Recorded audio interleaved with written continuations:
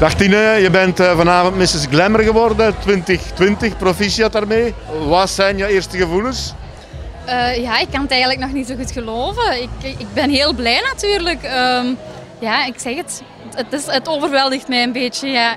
Wat ging er door je heen op het moment dat ze je uh, naam afriepen op het podium? Ik, ja, ik was heel blij, maar ja, je, je leeft zo'n beetje in, in een sprookje. Je hebt zo'n een, een, een rush door je lijf. Um, maar ja, ik was wel heel gelukkig natuurlijk, want daarvoor doet je ook mee, uiteraard. Dus uh, nee, ik was echt super. Wat vond je van andere meisjes? Het waren allemaal sterke kandidaten. Sowieso, er was, we waren met vier.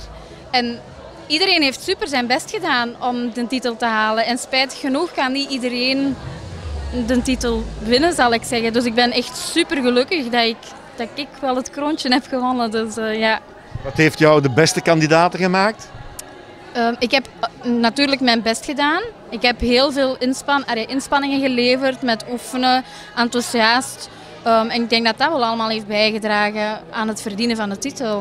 Ik heb gehoord dat uh, de organisatie ook 50% van de punten toekent uh, voor de medewerking voor de finale al. Denk je dat dat er ook iets mee te maken heeft? Ja, ik denk dat wel. Als je altijd op tijd aanwezig bent en je zorgt dat je in orde bent met alles, dan, dan spring je al ver natuurlijk. Dus ik denk wel dat dat eraan bijgedragen heeft, dat dat ook heel belangrijk is. Want dat bepaalt ook mee hoe, hoe gemotiveerd je bent natuurlijk. Hè. Dus jawel, dat heeft zeker bijgedragen, ja. Wat betekent dat nu, die titel voor jou? Oh, uh, ja, ik ben, ja, ik ben daar super blij mee. Ik, ik doe mee met een leerproces. Dit is ook de eerste keer dat ik meedoe met een misverkiezing en dan al direct een titel winnen. Dat vind ik echt wel bijzonder. Jawel, jawel. Ik word er heel vrolijk van.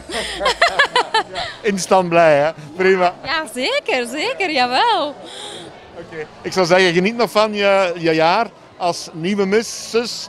En uh, tot de volgende keer wellicht, hè? Ja, zeker en vast. Dankjewel.